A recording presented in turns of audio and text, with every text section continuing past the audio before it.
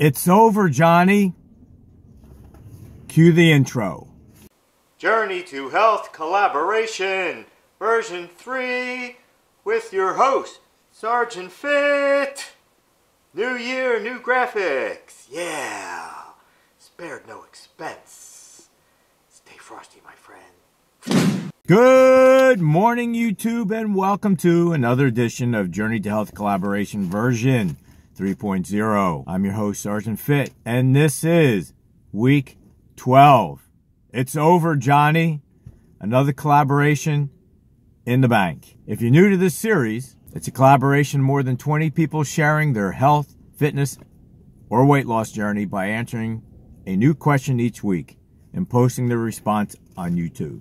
In total, there are 12 questions, and this is question number 12. But before we get to that question, don't forget to check the description box below and view the videos of the other participants. Leave them a like, share, subscribe.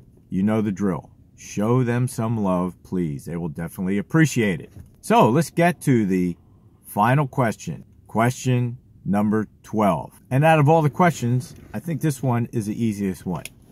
The question is, do you meal prep? If so, how do you meal prep in a typical week? My answer, I do not meal prep. Nobody beats me in the kitchen. It's not that I think there's anything wrong with it. I just don't do it. This sort of thing ain't my bag, baby. I enjoy preparing my meal fresh each meal. It's just what I like.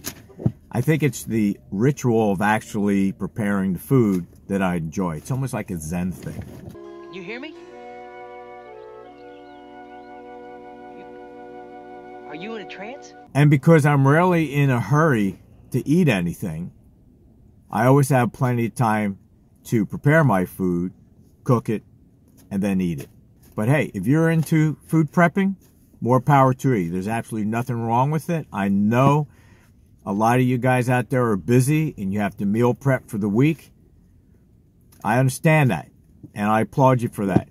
It's just not me. But let me add this meal prep does work for people that have a hard time sticking to their diet because it adds structure to their meal planning.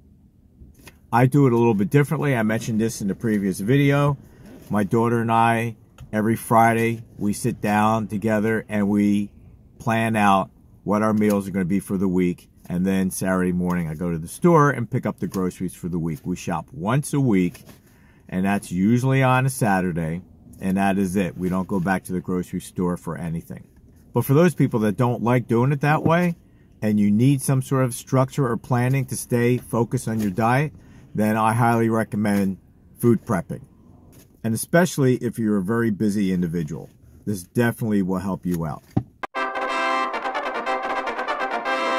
Now, you may ask yourself, why is weight training so important? At least, why it's important to me.